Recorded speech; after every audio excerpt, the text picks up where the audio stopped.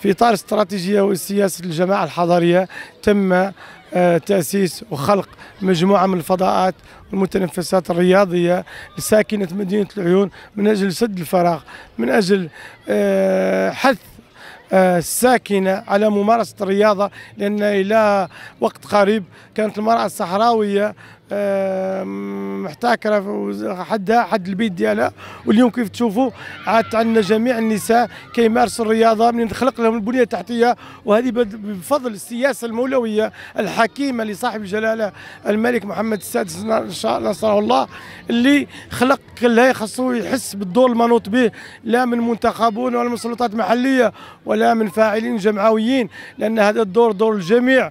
دور أي واحد خاصو يخدم من من من المنظور ديالو. كيف تشوفوا اليوم راه ازيد من 3000 إلى 4000 اسبوعيا ديال الأطفال كتمارس الرياضة والحمد لله هذه بنية تحتية متوفرة عليها الأقاليم الجنوبية اللي الحمد لله ماشي في مدن أخرى. وهذا مفخرة لجميع الصحراويين بصفة عامة وبصفة خاصة والمغاربة بصفة عامة لأن غادي يظهروا لنا مجموعة من المواهب اللي غادي نطعموا بها الأندية الوطنية والمنتخبات الوطنية إن شاء الله بالنسبة لهذا آه، البنية التحتية اللي ولات تزدهر بها المنطقة ديال العيون الحمد لله 45 ملعب في المدينة كاملة ملاعب قرب اللي كتشرف عليهم الجماعة الحضرية.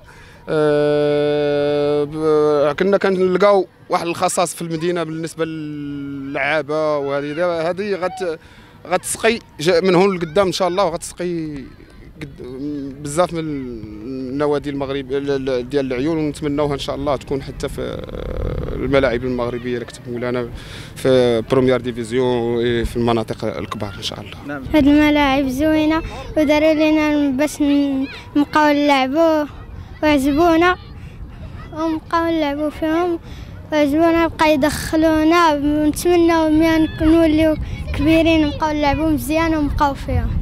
هاد الملاعب زوينين داروا لينا فينا نبقاو نلعبوا كنشكروا سيدنا. هذا الملعب هذا اللي راه شي كبير زاد ثاني على شي مستوى باش الناس اللي كانت المعاقين اللي كانوا في ديورهم ما كيلقاو فاش يلعبوا في العيون.